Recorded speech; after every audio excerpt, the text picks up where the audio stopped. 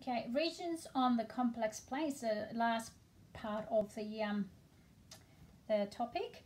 Um, example, let's have a look at the example, but before we do it, actually, regions, um, it's indicating we're going to have to deal with inequalities and uh, shading. So example 5, sketch the graph of each inequality. So there are lots of examples. And uh, first four it's just basics, like just using argument or modulus. It's not too bad. The last four, we're using both. Okay, so let's have a look at the first one. First one is argument. We're using the argument. So because it's inequalities, we can't just pinpoint just one thing now. It's a group of the um, the points. Okay, so it's gonna, argument is, uh, what is it, the seed, the starting point is 0, 0, and it goes from minus 45 to 60. So it will look like this, okay? And so it's, a, it's in, in between, so the area, the shading area is in between. And this one is same. Now both of them is not in, equal to, not equal to, so it's a dotted line there's only one dotted line there because of this part.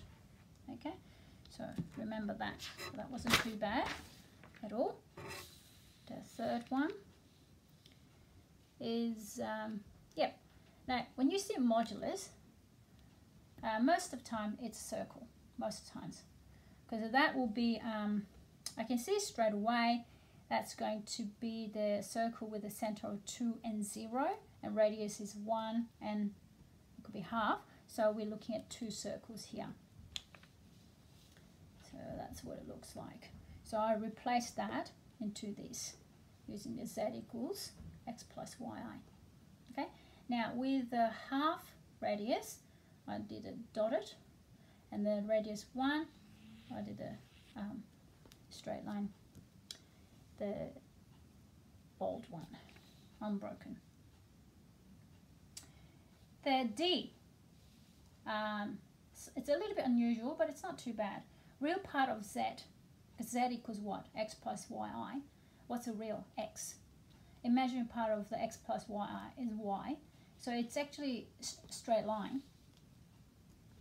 And then X intercept, Y intercept. X intercept is 1, Y intercept is minus 1. And in here, which, which part is shaded? You just have to test the point. I'm just going to test 0 if it's satisfying, it'll be shading this part. If it's not, this part, which I just done that. Okay, so it wasn't too bad. Now, this is the part we're going to have a little bit of um, challenge. Challenge is a good thing. Yep. So, we got the form of the modulus here, and we got argument. Okay, so what I've done is I just sketched it separately, okay, just too easy for us to think about. So argument is always a little bit easier. Well, I don't know, some people might think modulus is easy.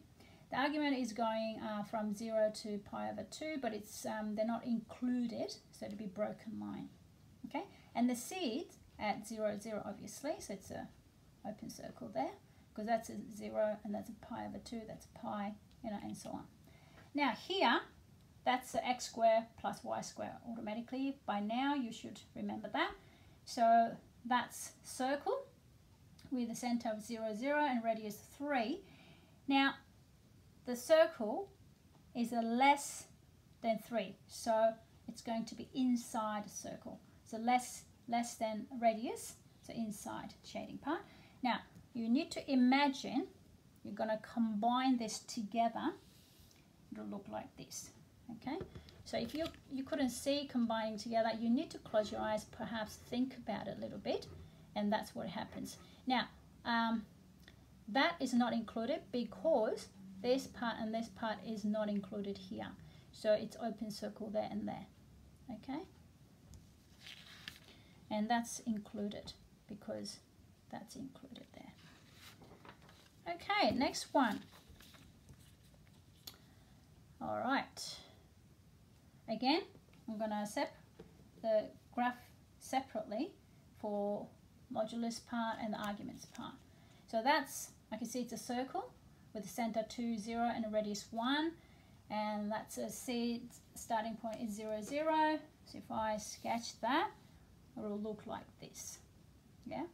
Now again the whole thing circle is less than 1 less than the uh, radius. So it's going to be shaded inside circle and that's um, 0 is not included so I put the dotted line there and it goes up to pi over 3 that's what I've got. And this format is in between obviously so in, in between we shaded now let's have a look if you can see that if you combine this together you can pause this uh, video and think about it and then you know go back and check.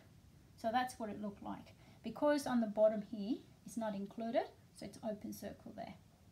Okay? And this part is not included isn't it? Because it's only this part. So it's not too bad. So next one.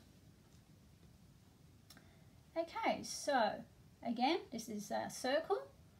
This time the center is 0 and 1 because it's what? Imaginary. And radius is 1 and seed starts at 0 0 now remember 5 pi over 6 is second quadrant okay? Because it's 150 I mean it's, a, it's more than half so that's why it's second quadrant. And that's first quadrant. So I separate it. Now be careful on this one. This time what is it? The circle is bigger than radius. So the, all the shaded part will be outside of circle okay? And so this one is second quad um, second uh, quadrant and it's not equal to, so it's a broken line. And that's equal to, so it's a straight into that. And obviously that little part is pi over 6. And they combine together, hmm, interesting. Would it look like this? Hopefully you can see um, the combined graphs together, it'll look like this. Okay, the last one. Okay, so again, it's not too bad. It's a circle. Um, two circles, isn't it? Because you've got two radius there, red line. And then that's uh, arguments there. And C at 0, 0. And I sketch this separately. It'll look like this. Okay, so remember it's not equal to. Okay, and, and the half, radius half, is equal to but radius 3 is not, so it's a broken line and it's in between shaded. So if I combine this together, here we go, it'll look like this. You can just sketch it together and then see which part, that part, and this, obviously this is the part because it's a limited section there, so it's this, okay? Hopefully you'll understand. It's just take your time, do it one at a time and then combine together until you get really are familiar with.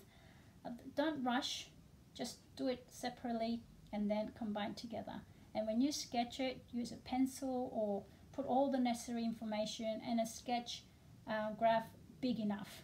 I think in HSC it's like half or one third of the page.